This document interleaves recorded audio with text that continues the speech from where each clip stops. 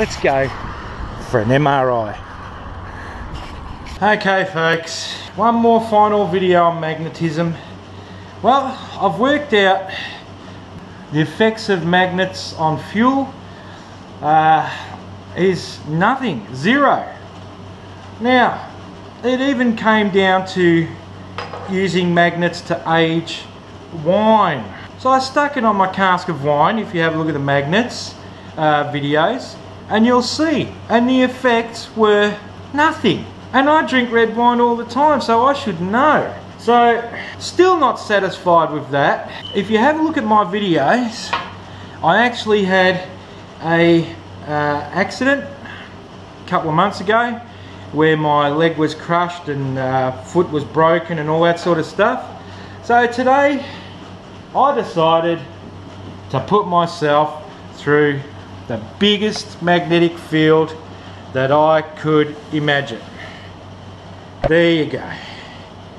There's the dates. As you can see, 28th of the 2nd, 2017. MRI, right ankle. Magnetic resonance imaging. It hurt. It actually hurt my foot because it's pretty bad. But according to these YouTube videos where these professed physics and scientific experts reckon that they change molecules in things and they'll mature your red wine and um, give you better mileage.